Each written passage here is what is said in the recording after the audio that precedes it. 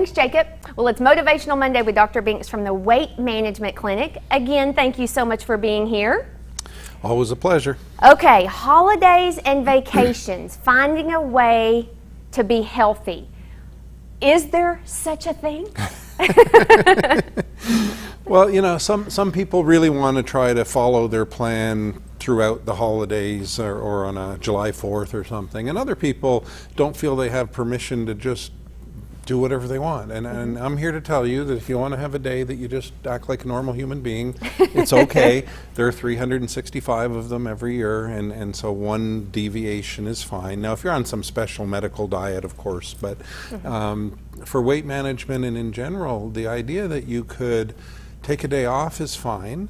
Uh, you could moderate a little bit, and I could give some uh, ideas on how to do that. Mm-hmm.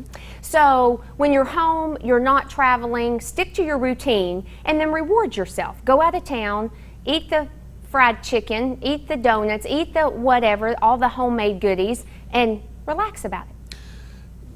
I think that the idea that on any day that you're traveling, one way to be moderate is to pick so maybe you really want to try a certain meal at a certain restaurant if you're trying to kind of balance here.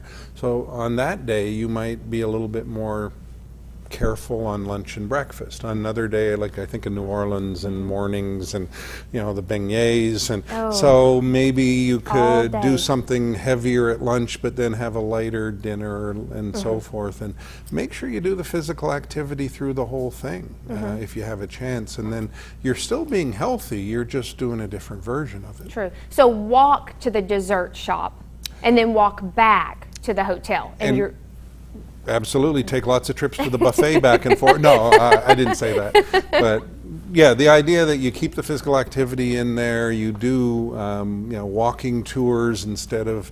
I remember seeing people going around. Uh, it might have been New Orleans actually on segways, and it's like, why not walk it? Right, right, and it's okay to have limits. So you you can limit yourself. Have a couple, like you said, and um, that way it doesn't feel like you're telling yourself no you can't because we need to reward ourselves sometimes. Well, food's supposed to be fun. Mm-hmm. I like that. I've never heard that before. so, give us maybe one or two more tips on how you can see this is a way to make it easy for those to be healthy during the holidays. I think of July 4th. It's mm-hmm. coming. I can't believe it's a week away. You may have things that you really enjoy to eat on July 4th. Sometimes what we make the mistake is we take too much and then we feel like we have to eat it. Maybe try taking half of whatever it is and then rotate through all the fun food and you might find that you're already satisfied. We sometimes over satisfy with quantity when a little bit less would have been just as fun. Great. I like that. Half of one half of one of everything. I like that. Thank you so much. You can get all Dr. Binks information up on the screen to get more information.